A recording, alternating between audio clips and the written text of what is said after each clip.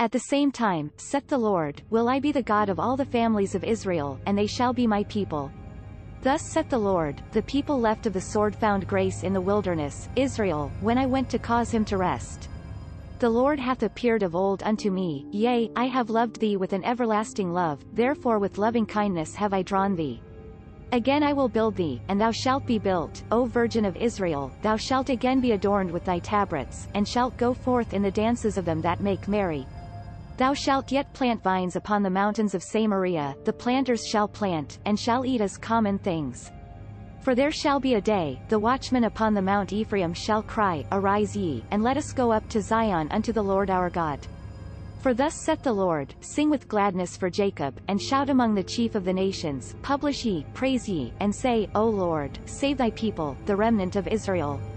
Behold, I will bring them from the north country, and gather them from the coasts of the earth, with them the blind and the lame, the woman with child and her that travaileth with child together, a great company shall return thither.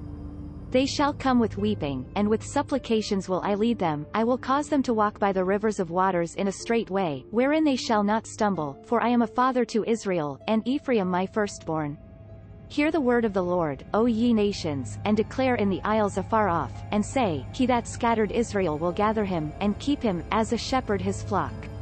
For the Lord hath redeemed Jacob, and ransomed him from the hand of stronger than he. Therefore they shall come and sing in the height of Zion, and shall flow together to the goodness of the Lord, for wheat, and for wine, and for oil, and for the young of the flock and of the herd, and their soul shall be as a watered garden, and they shall not sorrow any more at all. Then shall the virgin rejoice in the dance, both young men and old together, for I will turn their mourning into joy, and will comfort them, and make them rejoice from their sorrow. And I will satiate the soul of the priests with fatness, and my people shall be satisfied with my goodness, saith the Lord.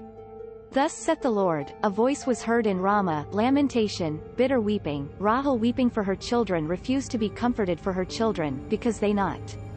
Thus saith the Lord, Refrain thy voice from weeping, and thine eyes from tears, for thy work shall be rewarded, saith the Lord, and they shall come again from the land of the enemy. And there is hope in thine end, saith the Lord, that thy children shall come again to their own border. I have surely heard Ephraim bemoaning himself, Thou hast chastised me, and I was chastised, as a bullock unaccustomed, turn thou me, and I shall be turned, for thou the Lord my God. Surely after that I was turned, I repented, and after that I was instructed, I smote upon thigh, I was ashamed, yea, even confounded, because I did bear the reproach of my youth. Ephraim my dear son? A pleasant child, for since I spake against him, I do earnestly remember him still, therefore my bowels are troubled for him, I will surely have mercy upon him, saith thee. This content was provided by AngeloTricarico.com. Subscribe to the channel for more stories.